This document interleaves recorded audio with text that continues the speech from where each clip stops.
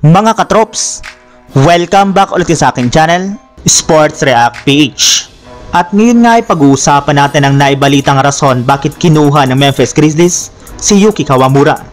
Pag-uusapan na rin nga natin dito sa ating panibagong video, ang balitang meron na nga na bagong re-rest back na sentro sa koponan ng Los Angeles Lakers.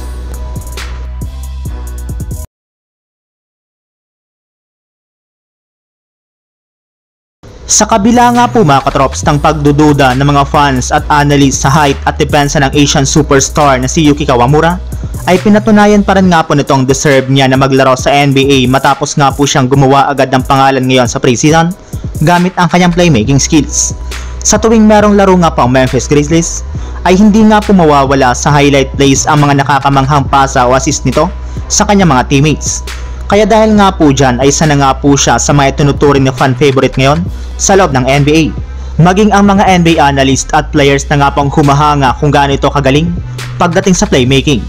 Maliban na rin nga po dyan ay maganda na rin naman nga po ang kanyang connection ngayon sa buong prangkisa ng Memphis lalo na sa kanyang mga teammates. Kaya isa na nga po ito sa mga posibleng rason bakit ibinigay sa kanyang huling pwesto sa kanilang lineup bago pa man magsimula ang regular season. Samantala, Punta naman tayo sa ating sunod na pag-uusapan.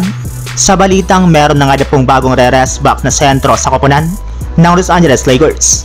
Apat na araw nga po mga katrops bago sumapit ang opening night ng NBA ay naghahanda na nga po ang buong Los Angeles Lakers na harapin ang koponan ng Minnesota Timberwolves.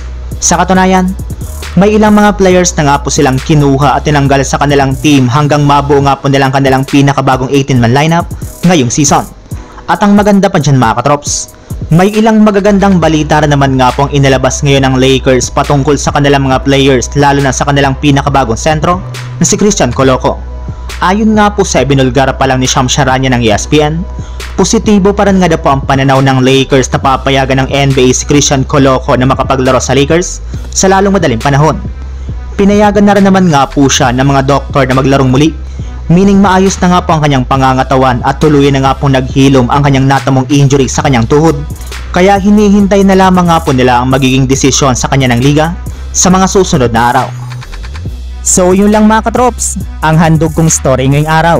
Sana nag-enjoy kayo, please like and subscribe my YouTube channel, Sports React PH para sa iba pang story at update patungkol sa NBA.